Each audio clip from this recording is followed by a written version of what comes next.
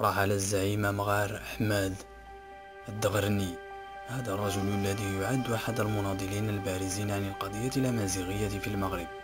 ولد أحمد الدغرني سنة 1948 بقرية تدرت بقبيلة أيت علي في أيت بعمران حيث كان والده مدرسا بزاوية تدرت وقاضيا بها.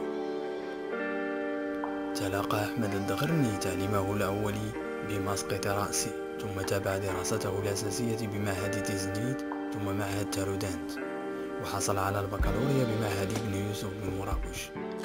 ثم انتقل إلى جامعة فاس حيث حصل على إجازة في الأدب بعدها وعلى إجازة في القانون بجامعة محمد الخامس في الرباط ليشتغل في سلك المحاماة بهيئة الرباط منذ مطلع السبعينيات.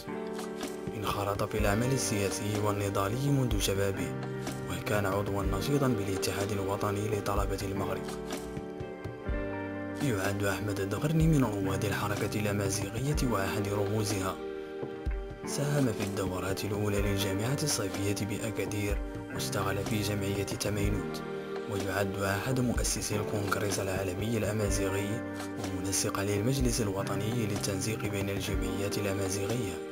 وشارك في المؤتمر الدولي لحقوق الإنسان بفيينا سنة 1993 وكان ذلك حدثا مهما في التعريف بالقضية الأمازيغية على الصعيد الدولي. وهو مؤسس الحزب الديمقراطي الأمازيغي المغربي سنة 2005 أحمد الدغرني له مؤلفات عديدة في مجالات الأدب والتاريخ والسياسة والقانون والأمازيغية. كما أنه من أسس جريدتي أمزداي وتمازيغت. واشتهر أحمد الدغرني طيلة مساره النضالي والمهني بدفاعه الشرس عن الأمازيغية وحقوق الإنسان ومعتقلي الرأي. تفنعتي كان الكلام المفيد. نكون ولاني لقتني مثلا ورنين ميد نهاية الرباط ديال الصغرى تحت مازيغ نكوني مثلا دوني غماني مثلا تدارت نايت علي يانو يانو يانو واسيف نايت وعمران وديك وديك دروسة السنة.